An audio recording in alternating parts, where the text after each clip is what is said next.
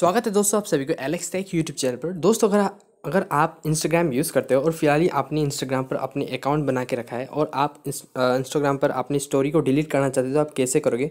मैं इसके बारे में इस वीडियो में बताने जा रहा हूँ। तो दोस्तों वीडियो पर शुरू से अंत तक बने रहिए स्किप मत कीजिए। चैनल पर नहीं हो तो सब्सक्राइब कर लीजिए नोटिफिकेशन लाइक उनको प्रेस कीजिए और वीडियो पसंद आए तो लाइक ज़रूर दीजिए। तो चलो दोस्तों, शुरू करते हैं।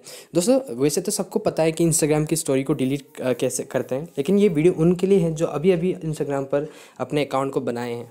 तो दोस्तों, आपको क्या करना है इंस्टाग्राम की स्टोरी को डिलीट करने के लिए? सबसे पहले आपको इंस्टाग्राम पर आ जाना है।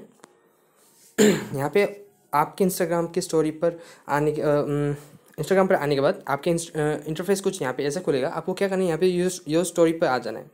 यहाँ पे आपको थ्री डॉट का ऑप्शन शो करेगा। उसको टैप कर लीजिए। यहाँ पे डिलीट का ऑप्शन मिल जाएगा आपको। इसको टैप करना है।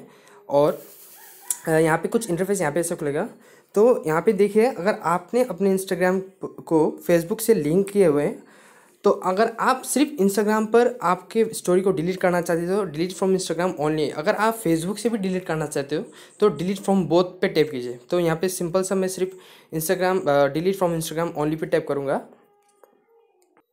तो यहाँ पे मैं सिर्फ़ डिलीट फ्रॉम इंस्टाग्राम ओनली करूँगा। तो यहाँ पे ये देखिए, यहाँ डिलीट हो रहा है। तो दोस्तों, देखिए, यहाँ पे मेरा स्टोरी जो है डिलीट हो चुका है। तो इस प्रकार दोस्तों, आप अपने इंस्टाग्राम स्टोरी को डिलीट कर सकते हैं। तो दोस्तों, आशा करूँगा ये वीडियो आपको पसंद आई होगी। अगर आई तो प्लीज़ चैनल को सपोर्ट करना। मिलते हैं अगले video till then take care bye thank you for watching